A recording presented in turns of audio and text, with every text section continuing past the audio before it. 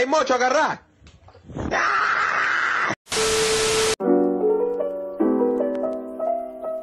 Hola, ¿qué tal? ¿Cómo están? Como observamos en el anterior video en donde hablamos brevemente de las bases de datos, existe un lenguaje exclusivo para almacenar, manipular y recuperar datos en bases de datos y ese lenguaje se llama SQL. De igual forma también observamos brevemente cómo funciona este lenguaje y habíamos dicho que su sintaxis es bastante simple y fácil de entender, además de que no es un lenguaje de programación como los que comúnmente conocemos o hemos visto y que no tiene las mismas estructuras. Así que el día de hoy observaremos cómo funciona y cuáles son las principales características de este lenguaje, pero recordemos que aunque este lenguaje no tiene tantas cosas como Python, Java o JavaScript, SQL es de igual forma un lenguaje muy amplio que aprenderlo o por lo menos entenderlo en su gran mayoría requiere de tiempo y práctica. Así que en este canal y especialmente en este video no hablaremos del lenguaje SQL por completo. Se va a hacer lo posible para que se entienda y se logre continuar con su aprendizaje de manera un poco más individual y autodidacta. Así que si quieres ver más videos así, no olvides suscribirte, darle like al video y especialmente ayudarme a compartirlo en sus redes sociales favoritas.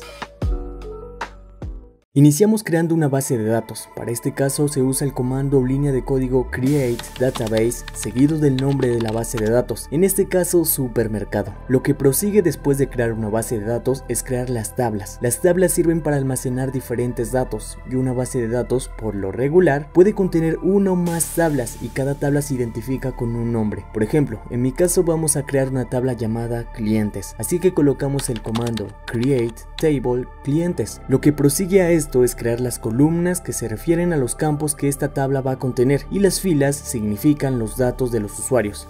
Para que lo entendamos mejor, en esta tabla tenemos cómo se observaría en realidad la tabla clientes. En las columnas tenemos los campos que se solicitan a un cliente, como por ejemplo su número de identificación, su nombre, la ciudad de nacimiento, su dirección y en fin, todos los datos que sean necesarios para registrar un usuario. Mientras que en las filas ya tenemos algunos datos de los usuarios en orden de registro, desde el que se registró primero hasta el último en registrarse. Ahora sí vamos a observar cómo hacemos llegar esos registros a esa base de datos. Y aquí vamos a observar cómo funciona la declaración insert into, que si lo traduces al español eso significa insertar en. Así que a medida que aprendes esto, también jálale al inglés porque te va a ayudar un montón. Insert into es una declaración que se usa para agregar nuevos registros a una tabla y funciona así. Insert into el nombre de la tabla y seguido de values y entre paréntesis colocamos valor por valor separados por una coma. Por ejemplo, si la tabla que creamos tiene 6 columnas, entonces debemos insertar 6 valores, de lo contrario nos saldrá error. Pero en el caso en el que queramos ingresar solo algunos valores en particular, debemos especificar las columnas en donde vamos a asignar esos valores.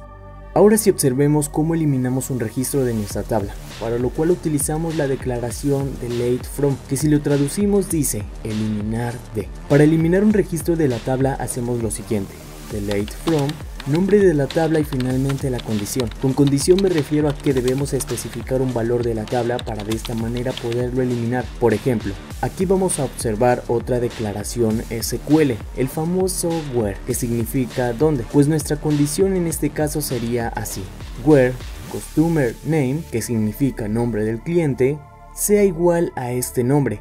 Y listo, con eso eliminaríamos el registro, especificando la columna y el valor de la fila. Finalmente observemos la declaración select traduce a seleccionar y por lo regular sirve para mostrar lo que hay dentro de una tabla. Por ejemplo, select, asterisco, from y el nombre de la tabla. Con esta sentencia vamos a poder mostrar toda la tabla y junto con ella los registros. De igual forma podemos solo mostrar valores en particular, como por ejemplo que solo nos muestra el nombre del cliente y su ciudad de origen. Y listo cracks, esto es un pequeño resumen de solo algunos, pero esenciales declaraciones en el lenguaje SQL. Pero recuerden que aún quedan decenas de conceptos por estudiar. Así que si quieren seguir mirando videos sobre bases de datos, no olvides suscribirte, darle like y compartir. Espero que tengas un excelente día y hayas disfrutado el video de hoy. Espero un nuevo video próximamente y sin más que decir ni pedir, te espero en la próxima. Adiós.